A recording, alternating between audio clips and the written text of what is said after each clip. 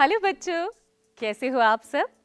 कहानी परछाइयों से कि इस भाग में मैं फिर से आपके साथ जुड़ गई हूँ और आज भी खेल खेल में हम कुछ नया सीखेंगे। तो खेलें ये नया वाला खेल। ये खेल लुका छिपी यानी हाइड एंड सीक का खेल है। पर कमाल की बात तो ये है कि ये लुका छिपी का खेल हमारे शेप्स यानी आकार खेल रहे हैं। कौन से आकार? वृत्त, यानी सर्कल और आयत, यानी रेक्टेंगल रेक्टेंगल ऐसे वाला, ठीक है? और वृत्त ढूंढ रहा है यहाँ पर इस खेल में आयत को। बहुत ही मज़ेदार खेल चल रहा है यहाँ। तो चलो, आप देखना चाहेंगे, आपको भी दिखाती हूँ। One two three four five six seven eight nine ten. मैं आ रहा हूँ। मैं आ रहा हूँ। हम्म, हम्म, मैं कहाँ छिपूं हम्म, अरे जूते का डिब्बा। मैं जूते के डिब्बे की सतह जैसा दिखता हूँ। मैं इसके पीछे छिपूँगा। मैं आ रहा हूँ। मैं आ रहा हूँ। आप कहाँ हैं? क्या आप फ़ोटो फ्रेम के पीछे हैं? आप कहाँ हैं? उम्म, क्या आप टीवी के पीछे हैं? ये ये मैंने आपको पकड़ लिया। आप जूते के डिब्बे के पीछे हैं। ठीक है ठीक है मैं बाहर आ रहा हूँ। अब मेरी बारी है। One two three four five six seven eight nine ten मैं आ रहा हूँ मैं आ रहा हूँ। मैं कहाँ छिपूं? अरे बेचारे वृत्त को तो छुपने की जगह ही नहीं मिल रही। कहाँ छुपेगा सर्कल? जैसे ही वृत्त अपने लिए जगह ढूंढता है तभी घर की घंटी बजती है। और पता है कौन आता है? सर्कल और रेक्टेंगल के दोस्त। स्क्वायर यानी वर्ग और ट्रायंगल यानी त्रिकोण। फिर क्या? वो चारों मिलकर पूरी मस्ती करते हैं और लुका छिपी का खेल खेलते हैं। अरे ये तो लुका छुपी खेल रहे हैं। हमें भी खेलना है। हाँ हाँ चलो सब मिलकर खेलते हैं। वृत्त और आयत ने तो छिपने के लिए अपनी अपनी जगह ढूंढ ली। पर त्रिकोण और वर्ग थोड़ी उलझन में हैं कि वो कहाँ छुपे। तो बच्चों क्या आपको पता है कि वो कहाँ छुप सकते हैं? तो चलो। अब मैं बताती हूँ कि वृत्त कहाँ छुप सकता है। आप भी सोचिए, वैसे वृत्त छुप सकता है घड़ी में, गेंद में और कहाँ कहाँ पर? ऐसा है। बाकी दो जगह आपको ढूंढनी है और फिर बतानी है। तो ढूंढिए और बताइए। इसी तरह बच्चों, हमारा आयत कहाँ छिप सकता है? जूते के डिब्बे में और दूसरा फ़ोटो फ्रेम में। और कहाँ पर? सोचिए सोचिए। बाकी दो जगह भी आपको सोचनी है और बतानी है। बच्चों, अब त्रिकोण और वर्ग के लिए कौन सी जगह है उस घर में जहाँ वो आसानी से छिप सके? बताइए। चलिए, मैं बताती हूँ कि त्रिकोण छुप सकता है बर्थडे कैप में और वर्ग छुप सकता है फ़ोटो फ्रेम में। आप भी कोशिश करिए और ढूंढिए कि वो दोनों और कहाँ कहाँ छुपेंगे। मुझे तो पूरी उम्मीद है कि आप ये अभ्यास ज़रूर कर लेंगे। तो बच्चों वृत्त त्रिकोण, वर्ग और आयत ने मिलकर लुका छिपी का खेल जमकर खेला।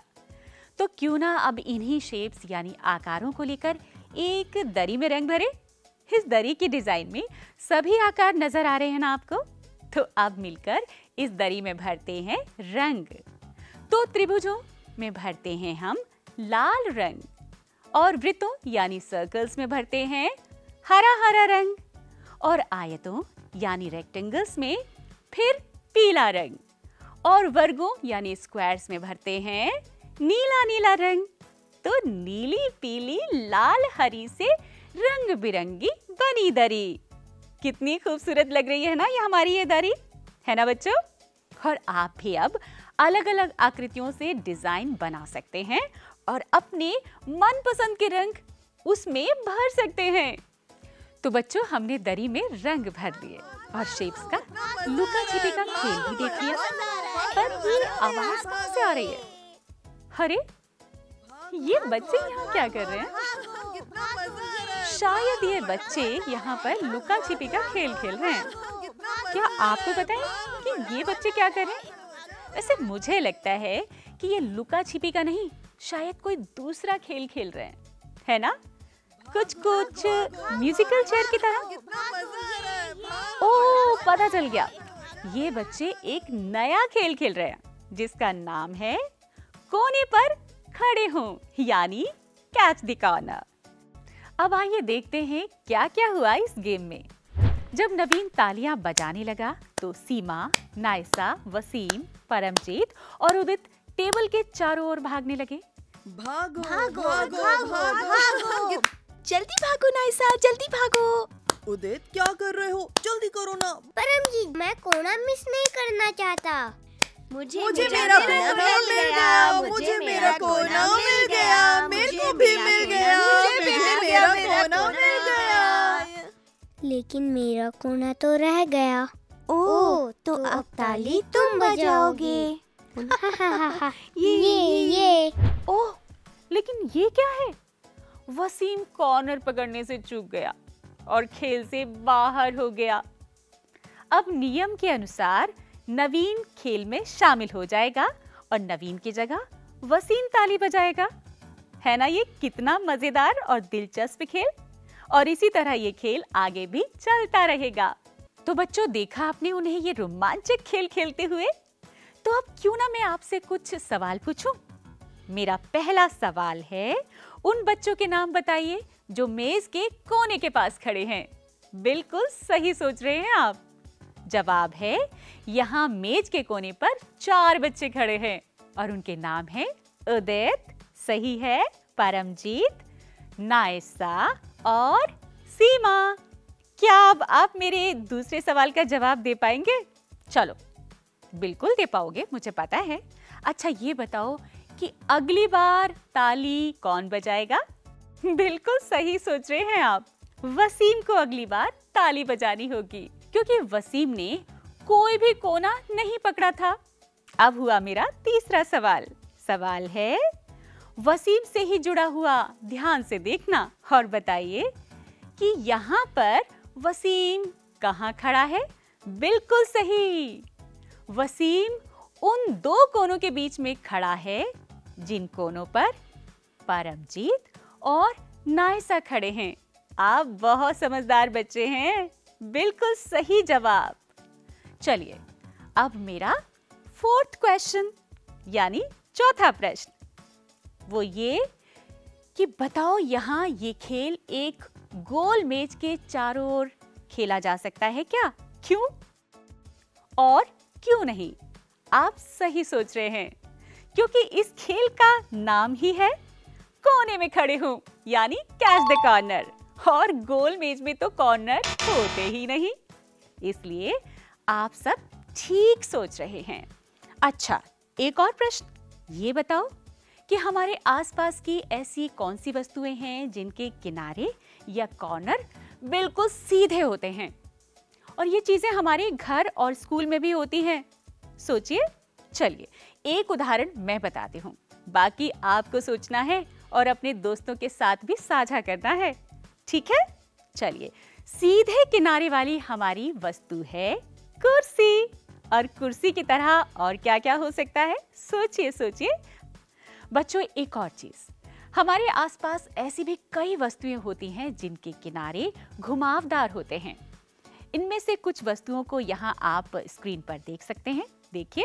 ये एक बॉल हो सकती है, या एक अलार्म घड़ी, या फिर एक बड़ा सा तरबूज।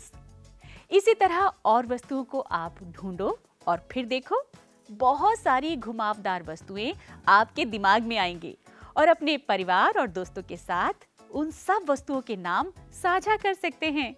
तो आज बहुत सी चीज़ें हमने जान ली और अब करते हैं एक और अभ्यास आपके साथ। अच्छा ये बताइए कि घुमावदार किनारों वाली वस्तुओं के कितने कॉर्नर्स होते हैं? सोचो सोचो, ये क्या हो सकते हैं? आप सब ठीक सोच रहे हैं। बिल्कुल सही जवाब। और कुछ वस्तुओं के नाम बताइए जिनके किनारे सीधे और घुमावदार दोनों होते हैं। सोचो, क्या वो चीज़ें थोड़ा सा मुश्किल लग रही हैं कि क्या हो सकती हैं? थोड़ी सी मुश्किल तो है। वैसे मैं आपकी मदद करूँ? चलो एक मैं बता देती हूँ। बाकी आपको सोचना है और दूसरों को भी बताना, ठीक है? ये है हमारा क्रिकेट बैट, जो घुमावदार भी है और इसके किनारे सीधे भी होते हैं। सही सोचा ना? अब इसी तरह आप कुछ और भी नाम सोचिए।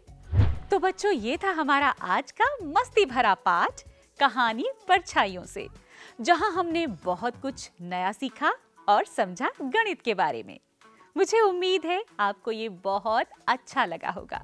इसी तरह फिर लेकर आऊँगी कुछ नया और रोचक जानकारियों का खजाना। तब तक के लिए आप सब खुश रहिए खेल खेल में पढ़ते रहिए। Bye bye